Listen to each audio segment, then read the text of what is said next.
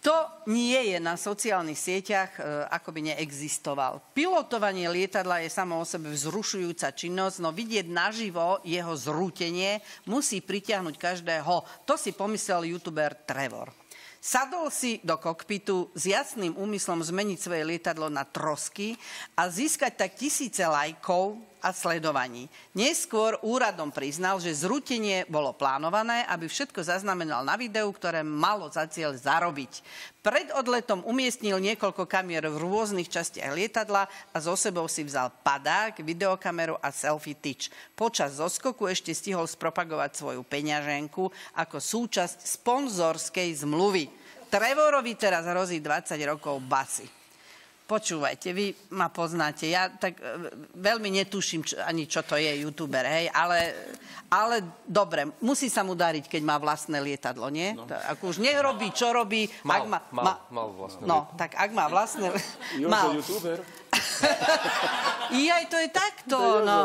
Ja dokonca patrím aj medzi tie tisíce e, lajkov, ktorí vôbec netušia, čo je selfie tyč a tak, ale to, to je jedno. Trevor, prepačte, mi za výraz je v podstate sráč, hej? Lebo toto chce nakrútiť, ale zoberie si padák, hej? Tak mal by taký frajer zhrmieť s tým?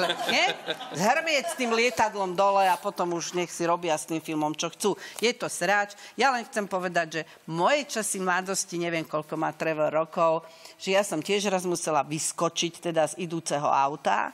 Nevede- pohlo sa dolu kopcom a nevedela som ho zastaviť, tak som vyskočila. No keby vtedy už bolo, hej, že video a mobily a čo, tak som youtuberka, hej, a mám vlastné lietadlo dnes, akože to, a vtedy ma akurát kamarátkin frajer kopol do zadku, ako, lebo, le, lebo mu to samozrejme sa zastavilo na takom múriku, trošku sa poškodilo a ja som si zalietala trošku, no. Youtuberi hore dole, ale toto je vážna vec.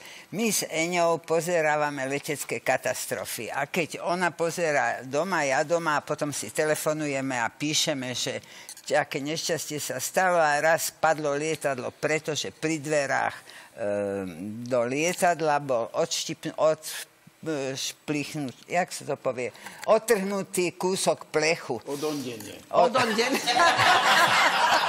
Odondený, správne. Odondený kúsok plechu.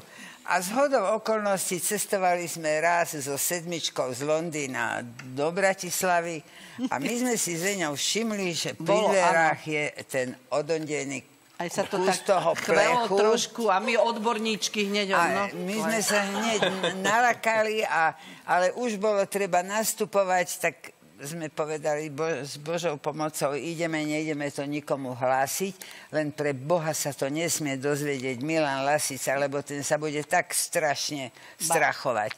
A keď sme už boli vo vzduchu, tak Milan povedal, že devčatá, všimli ste si ten od poškodený plech, ale nebojte sa, ja sa osobne poznám s pilotom, on letí prvý raz. A, a keď bude potrebovať pomoc, tak si ma zavolá do kokpitu a ja sa toho riadenia zmocním.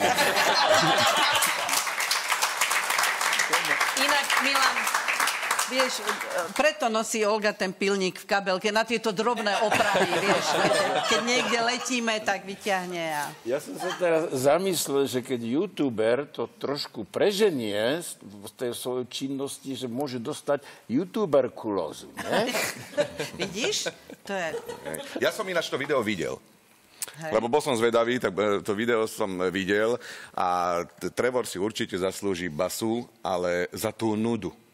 Na tú, to, to je tak nudné video. To, to lietadielko je ináč malinké.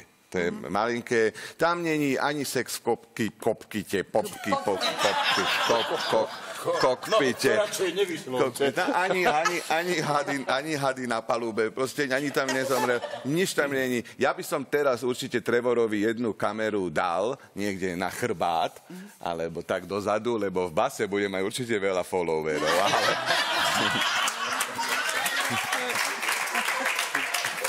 Strašné, ale To bude iné video. Nie? S tými sociálnymi sieťami. Dnes všetci žijú na sociálnych sieťach a prednedávno sme žili normálne. No. To je dcera. Ja ti, ro- Amen, amen, rozumiem. Ja ti rozumiem. Ale, Ja, no o tom je. Nie len, že s týmito uh, takými akože v úvodzovkách crazy nápadmi, ako rýchlo zbohatnúť na sociálnych sieťach, treba veľmi opatrne, lebo sa to vie otočiť proti vám, tak ako sa to voči Trevorovi otočilo.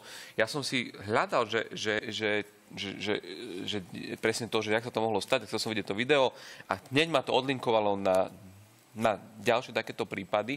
A predstavte si, jeden zo smutných prípadov bol, že bol chlapík, ktorý chcel založiť biznis na tom, že urobí stránku, kde vy budete môcť vydierať ostatných ľudí, že máte na nich nejaké ich tajomstvo. Mm-hmm. Vy tam napíšete, že, že viem. Viem. niečo o teba, o vami a potom vlastne licitujete sumu a keď sa dohodnete, tak on to nezverejní. Lenže To je sa... nápad. Pardon. No. Lenže čo sa stalo? Chalan založil tú sieť a hneď sa ozvali všetci jemu. Lebo mali nejaké video zo strednej školy, samozrejme. A tak chalan začal platiť, aby to nešlo von, až teda došlo k tomu, že skrachoval. A bolo po celom nápade, takže... Ale toto je ale fakt nápad, lebo neexistuje človek na svete, ktorý niečo nemá také, čo... čo pre, prepač, prepač. Sme hneď dvaja.